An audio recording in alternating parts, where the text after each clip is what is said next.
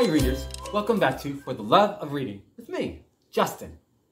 Today is all about numbers. Did you know that we started this channel seven months ago? That's so exciting. And now we have over 50 different videos.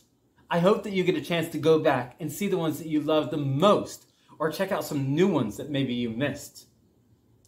Since it has been seven months and 50 videos, and now we have over 100 subscribers and thousands of views, I thought that I would take just a minute to talk about five things about me so that you can get to know me just a little bit better. The first, and this is probably not a surprise, is that I love to read. I love books. I love getting lost in books. I love meeting new characters in books. I love surprises in books. I have loved reading books for almost forever. Since before I can remember, I have loved reading books. One of my favorite TV shows when I was a kid was Reading Rainbow, and that taught me a lot about loving books. And that's what I'm trying to do with this channel, is help you to fall in love with reading.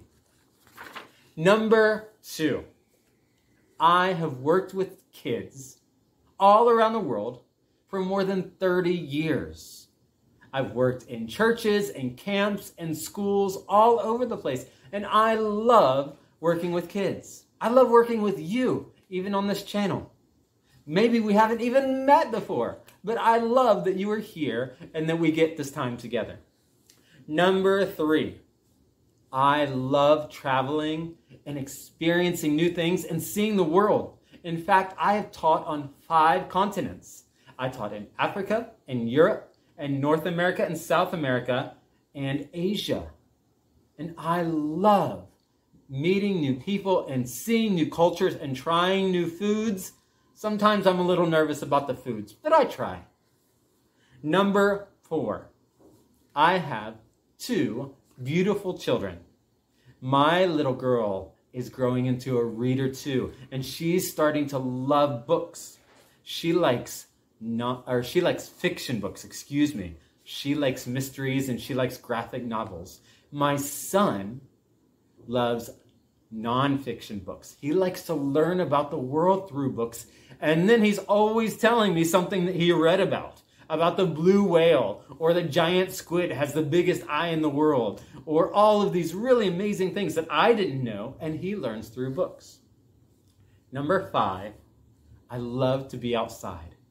I love hiking and camping and waterfalls and riding my bike and scuba diving and going in hot air balloons and horseback riding. I love to be outside. I love, one of my favorite things in the whole world is to sit out under the stars.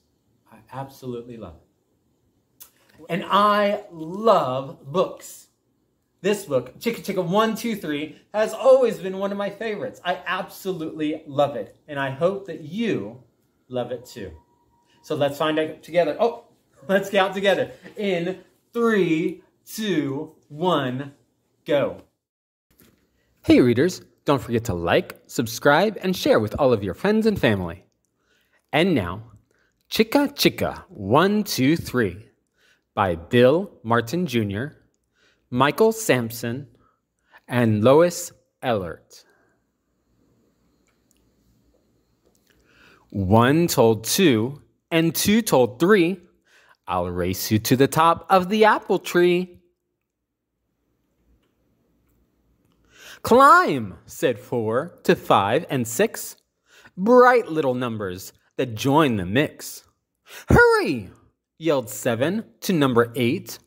Slowpoke fellow who's always late. Chicka chicka, one, two, three. Will there be a place for me? Here comes nine to the apple tree. Next comes 10 and then 11. Wow, these apples taste like heaven. Chicka chicka, one, two, three. Will there be a place for me? Hot pink 12, lucky 13, picking apples red and green. 14, 15, can't you see? They all want to climb the apple tree. Chicka, chicka, one, two, three. Will there be a place for me? Sixteen's next to make the scene, climbing branches with seventeen. Eighteen, nineteen, one more's twenty. Numbers, numbers, there are plenty. Chicka, chicka, one, two, three. Will there be a place for me? Curvy, 30. Flat foot, 40. Climbing up to join the party. 50s, fine, and 60s, dandy. 70s, hair is long and sandy. Chicka chicka, one, two, three. Will there be a place for me? Let's climb more, says Treetop 80. Higher and higher up to 90. Until at last there's 99. And all the numbers are feeling fine. Except for Zero, who begins to cry. Chicka, chicka, one, two, three. Will there be a place for me? Oh no! Buzzing close, bumblebees.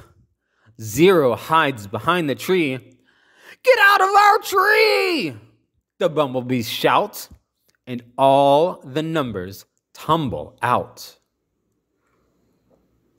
90, 80, 70 fall, hit the ground in a free for all.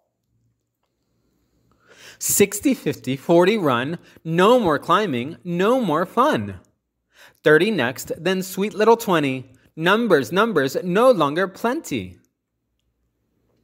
19 and 18, my oh my, frightened numbers jump and fly. 17, 16, 15 more. Now 14 has hit the floor and 13 too. Unlucky guy. 12 had almost touched the sky. Bent up 11. Wait, where's 10? 9, 8, 7. Follow then. Twisted 6 and top hat 5. 4, 3, 2, 1. Take a dive. Chicka, chicka, 1, 2, 3. Now I know the place for me. Zero leaps into the sky. Brave little number, he's not shy. Zero lands on top of the tree, joins with 10, now 100 you see.